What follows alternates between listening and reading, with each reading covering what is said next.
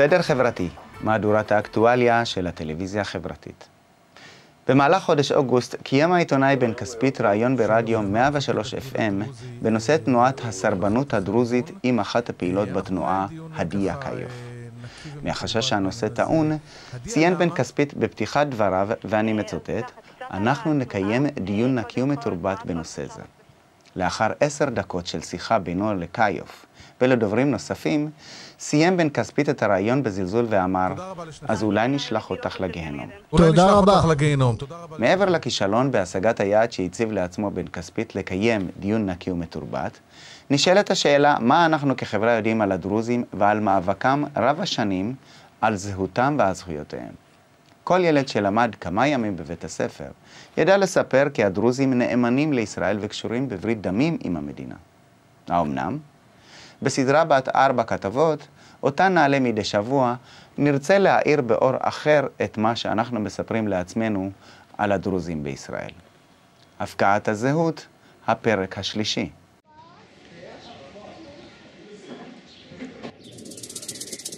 לימדו אותי שאני דרוזית ישראלית, אוקיי, אבל אני מדברת בערבית, זו שפת האם שלי, זו התרבות שלי. אני הפלסטיני בה"א הידיעה. הדרוזים הם, הלאום שלהם הם פלסטינים. זה התחיל בבית, אבל אנחנו עכשיו לא ממש מדברים על זה. אין סתירה בין היותך דרוזי להיותך ערבי. זהו סיפור על אהבה, בגידה, אדמה ודם. סיפורו של מסע בעקבות הנרטיב הדרוזי, שכולנו כל כך אוהבים לדקלם, על הקשר המיוחד בינם לבין המדינה. מסע אל ארץ מסוכסכת ופגישה עם מציאות קשה וטורדת, שאין בה זכר לברית דמים או שותפות גורל.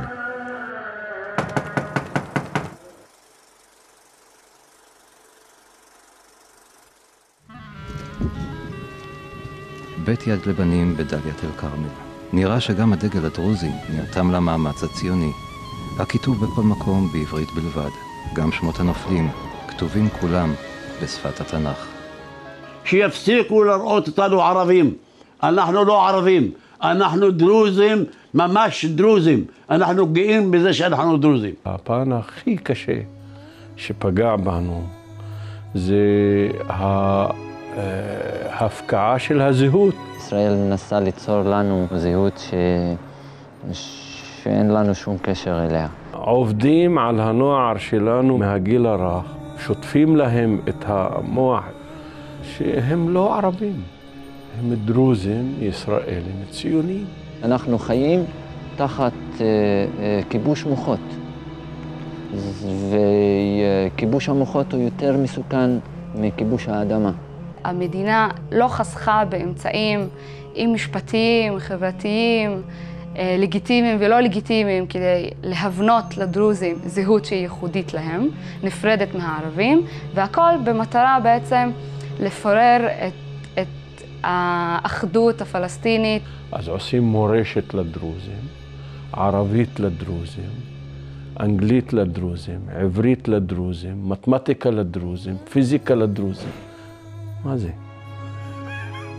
מגיל צעיר אני יודע מהי הזהות שלי, הזהות האמיתית שלי, שאני פלסטיני. אני אומר שאני הפלסטיני בה"א הידיעה. יש אולי קבוצה כזאת, קבוצה קטנה, שאולי רואים את עצמם משתייכים לעם הפלסטיני. לזכותם, אני חושב, אבל עוד פעם, אני חושב שהם קבוצה מאוד קטנה ולא משקפת. והדרוזים הם לא בעד השלטון איפה שהם נמצאים. זה סיפור שקרי מצוץ מאצבע, זה סיפור ציוני, וזה קל מאוד להפריך אותו. כשהיו הבריטים פה, הדרוזים לא היו בריטים.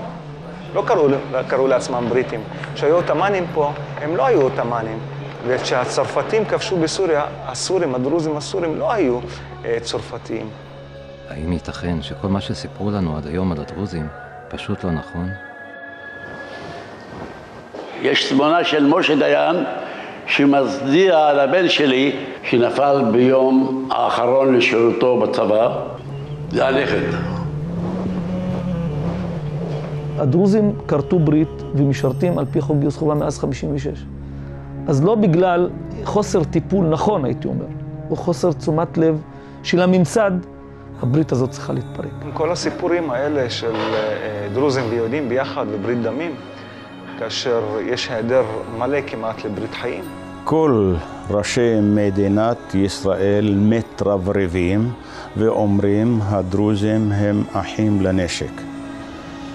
אנחנו נחנקנו מן האהבה שזה והחיבוק שזה חיבוק דוב. הבנתי שבעצם הגיוס לצבא היה אחד האמצעים כדי להפריד את הדרוזים משאר הערבים. והבעיה של הדרוזים שמשרתים בצבא היא לא בעיה דרוזית, היא בעיה פלסטינית. שחלק מהפלסטינים הם משרתים בצבא הישראלי שהוא פוגע, פוגע ישירות בזהות הפלסטינית. ויש עלייה בתודעה של הצעירים הדרוזים, אה, לא רק, ל, ל, אה, לא רק לעתידם בצבא או מחוץ לצבא, אלא גם למסוכנות הנשקפת לחייהם בעתיד, מעצם היותם בצבא הישראלי, שנלחם בעם שלהם, הפלסטיני, וגם באומה שלהם הערבית. ב-1956 התגייס המחזור הראשון של בני העדה הדרוזית תחת חוק גיוס חובה. תיתנו תקבלו, אמרו להם אז. מסתבר שבמדינתנו הדמוקרטית בני עדה מסוימת צריכים לתת כדי לקבל את מה שמובן מאליו לבני העדה השלטת. והדרוזים נתנו, נתנו את היקר מכל, הזהות, הבנים והאדמה. ומה הם קיבלו?